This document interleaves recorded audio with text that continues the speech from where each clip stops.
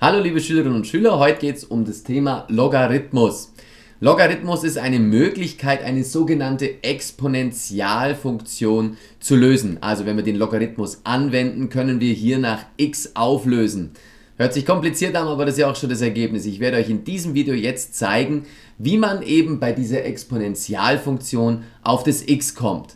Einmal durch Probieren, so haben wir es bisher gemacht, und dann eben mit Hilfe des Logarithmus. Schauen wir uns das Ganze einfach mal gezeichnet an. Das ist also der Graph dieser Exponentialfunktion. Exponentialfunktion heißt ja, wir haben eine Variable oben im Exponenten. Also, diese grüne Linie ist hier der Graph ähm, von dieser Funktionsgleichung. Und es könnte jetzt ja eine Aufgabe sein, was ist, wenn y gleich 8 ist. Also wenn wir uns das grafisch vorstellen, wir wissen, y ist gleich 8, das heißt, wir gehen hier, fangen hier an, gehen hier rüber, wissen dann, ah, beim Graphen müssen wir nur gucken und dann senkrecht runtergehen, dann können wir den x-Wert davon bestimmen. Natürlich können wir den x-Wert auch durch Probieren bestimmen. 2 hoch 1 gibt 2, 2 hoch 2 gibt 4, 2 hoch 3 gibt 8. Ist ja gerade 2 hoch 3. Das hätte man auch rauslesen können. Viel schwieriger wird es, wenn wir zum Beispiel dran stehen haben, wann ist das y gleich 5 bei dieser Aufgabe. 5 ist gleich 2 hoch x. Hier geht nichts mit probieren. Beim Graphen, wenn wir das Ganze angehen, also wieder beim y gleich 5 rüber und senkrecht beim Graphen runter, können wir den x-Wert zwar ablesen, nur in unserem Heft funktioniert das sehr, sehr ungenau. Ich habe hier ein Geometrieprogramm, der spuckt mir natürlich den richtigen Wert aus. Aber wer hier genau an, diesem, äh, an dieser Stelle auf 2,32 kommt, der muss schon sehr, sehr viel Glück und Genauigkeit besitzen. Vor allem muss dann auch der Graph hundertprozentig richtig gezeichnet werden. Also hier kommt man zwar auf x gleich 2,32, aber das kommt man eben nicht durch Ablesen. Und dafür gibt es eben die Möglichkeit des Logarithmus. Wenn ich eine Funktion habe, die wie folgt ausschaut, a hoch x ist gleich c oder eine Gleichung a hoch x ist gleich c, dann kann ich das umformen nach x, denn x ist in dem Fall nichts anderes als der Logarithmus von c zur Basis a. Also, das nochmal ausgesprochen, x ist der Logarithmus von c zur Basis a. Erstmal wissen wir noch gar nicht, was wir mit dem anfangen sollen, aber was wir in dem Video können müssen, ist quasi diesen Term äquivalent umformen auf diesen Term. Es gibt quasi das gleiche. Rückwärts ist es übrigens auch wieder, das ist eine Umkehraufgabe. Das heißt, wenn ich diese Aufgabe dran stehen habe, kann ich das wieder so zurück umformen. Ich kann mir hier merken, das, was hier in dieser Aufgabe die Basis war, das bleibt auch hier die Basis, also das, was unten steht. Dieses c wandert hier hin und die Aufgabe war es ja, nach x aufzulösen. Schauen wir uns das Ganze konkret an. Hier würde das bedeuten, dass x ist gleich der Logarithmus zur Basis 2 von 8. Oder der Logarithmus von 8 zur Basis 2. Hier würde man auch anfangen mit x ist gleich der Logarithmus von 5 zur Basis 2. Auch hier hat man die Basis 2.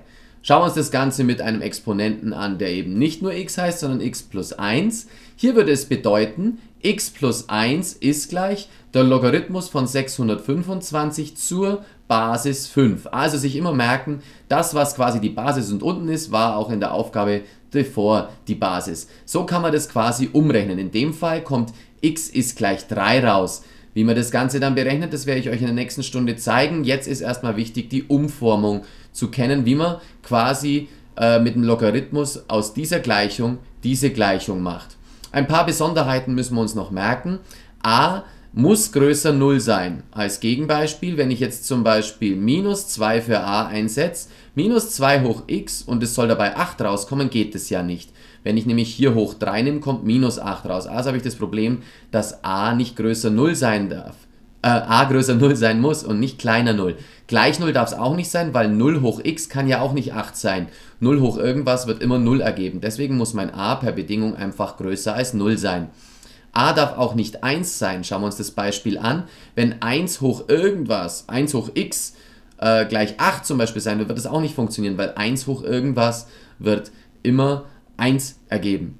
Genauso, wenig, genauso muss mein c größer als 0 sein. Beispiel, 2 hoch x, also wir nehmen wieder das von hier oben, ist und in dem Fall minus 2. Hier kann nichts Negatives rauskommen, deswegen ist auch das hier verboten. Genauso ist es verboten, hier 0 zu setzen, denn 2 hoch irgendwas kann nicht 0 ergeben, 2 hoch 0 ergibt ja gerade die 1. Diese drei Bedingungen sind an unseren Logarithmus geknüpft.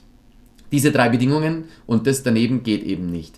Und was wir uns dann noch merken müssen auf die nächste Stunde, der Logarithmus von x zur Basis 10, das wird auch der 10er Logarithmus genannt und den schreibt man als LGX.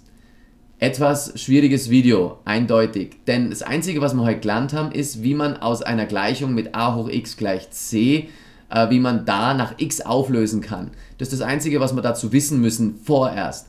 Wie wir dann da mit dem Taschenrechner bzw. mit echten äh, Gleichungen arbeiten können und welche Gesetze man da anwenden darf, das erfahren wir erst in den nächsten Stunden. Wichtig heute ist es, dass ihr es verstanden habt, wie man aus a hoch x gleich c nach x auflöst, mit Hilfe des Logarithmus und welche Bedingungen an a und an c geknüpft sind. Bis zur nächsten Stunde. Tschüss!